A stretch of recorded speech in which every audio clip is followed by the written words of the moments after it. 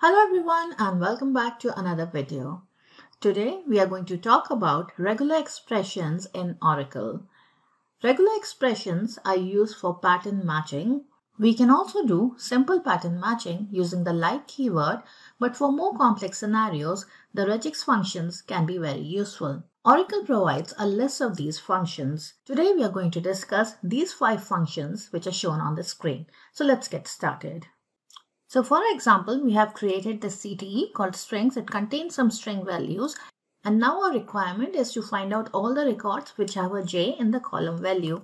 So we can simply write a select statement saying select str from our CTE which is strings where now this can be achieved with a simple like statement as well. So if we just say where str like and percent %j percent and execute this query, we are going to get all the records in the output which have a j in them. So this can be implemented using the like keyword because it's a simple pattern matching.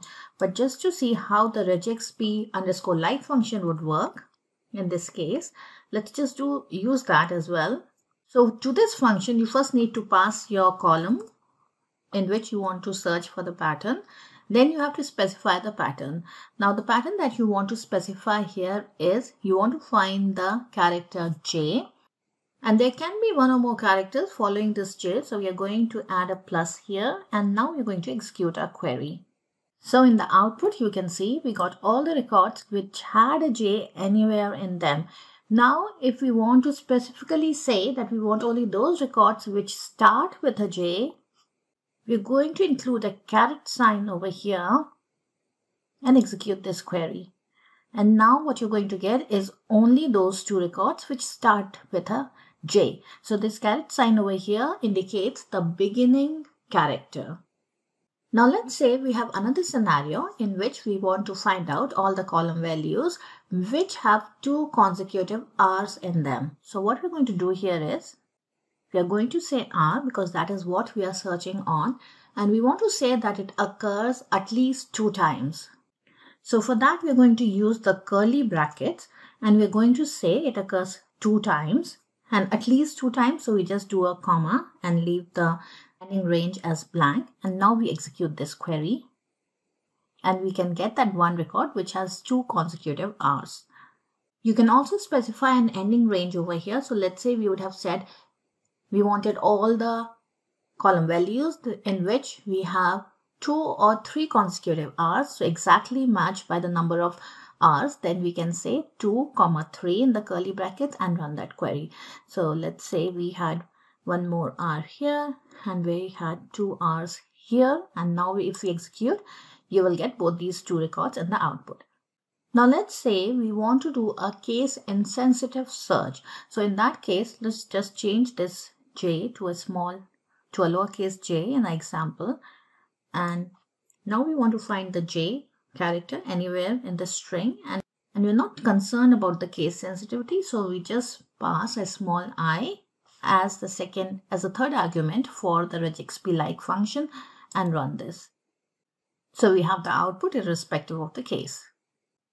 Now if we remove this i from here and run it you will only get the two records which have a capital J in them.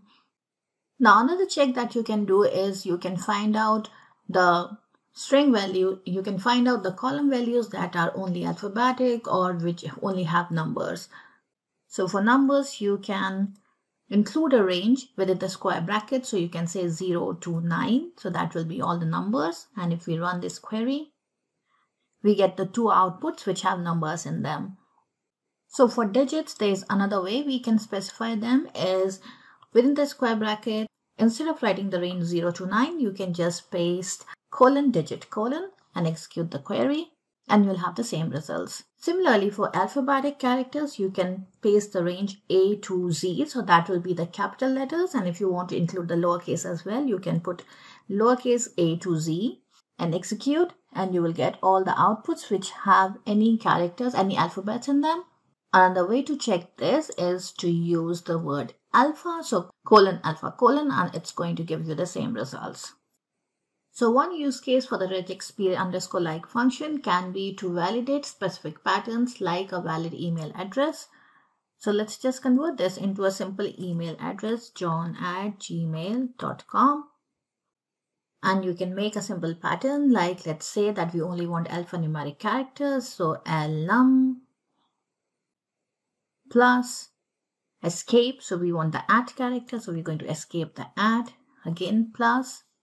Again, we expect any alphanumeric characters. And then we expect a dot. And again, alphanumeric characters and any characters after that. So this is a very simple pattern that we are matching. Obviously, in real life scenarios, the pattern matching would be much more complicated than this. But just to show as an example, if we run this, we are going to get that one record which has the value in the pattern that we required. Now let's move on to the next function, which is the regexp underscore instr function. So now this function is going to first find the pattern and then return the position where that pattern occurred in the string. So now we are going to use this function in the select query. So we are going to say regexp underscore instr and we are going to search the string str. The pattern that we're looking for is a double R and we're just going to execute this query. And we've got the position where this pattern occurred. So for the first record, there was no match for that pattern. So we got the position as zero. For the second record, the pattern started at position 3 and that is what you have got for all the remaining records. The pattern was not found, so you got a 0 in the output. Now there are other arguments that we can pass to this function. So let's say we wanted to start searching from the second position. So you can put 2 and let's run it again. So we get the same results. Now let's say we wanted to start searching from the fourth position. So when we search from the fourth position in a string, we have no record where a double R occurs after the fourth character of the string. So we are going to get a no match and here you can see that even for the record Jerry, the position now is 0. Let's take it back to the start of the string. Now the next argument that can be passed is which occurrence of the character you want. So let's say we, uh, we want to find an R. Uh, let's just change it to a single R. And we want the second occurrence, the position for the second occurrence of R in a string. So you can pass 2 and execute this query again. And you can now see that the output is the position is 4 because that is where the second occurrence of R occurs in this string. So this is how you can use the regexp underscore instr function to find the position of a particular pattern. So based on this, you can imagine that there can be much more complex implementations with these functions. We're not going to go into the complex scenarios in this video because this is more like an introductory video, but we'll do some videos later on with some complex scenarios using these functions. Let's quickly move on to our next function, which is regexp underscore replace. So as the name suggests, this is going to find the pattern and replace it with a particular substring. So I'm just going to change it here to regexp replace. And let's say again that we want to find R, two consecutive R. So instead of defining it like this, we are going to define it within curly brackets. We are going to say at least two occurrences of small r. And what we're going to replace this with is, let's say, a star. So close the brackets and run this query. We want the ending code for this and run it again. And you can see that the double R in Jerry has been replaced by a star sign. So this is how our regex replace function works. Again, you can pass more arguments to it, telling it from which position you want to start the search and which occurrence you want to start searching from and which is the occurrence that you want to substitute the value for. Next, we are going to look at the regexp substring function. Now, this is similar to the instr function wherein it finds a particular pattern in a string. But the instr function returns the position of that string and this function here is going to return the substring itself. So it's like a substring, the general substring function that we use. The only difference is going to be that you're going to be able to search a pattern using this function. So again, we are going to search for occurrences of two consecutive R's in any of the column values. I'm going to run this query And you can see here that for Jerry, it has returned the substring RR itself. Whereas in case of an instr function, it would return the position, the starting position of that pattern. The next function is the regexp underscore count function. Now the way this function works, it is it counts the number of times the pattern occurs in a string. So for us, the pattern double R or consecutive R, small r, occurs only once in this string. So I'm just going to do a regex count here and execute this query and you can see that the number of times the pattern occurs is 1.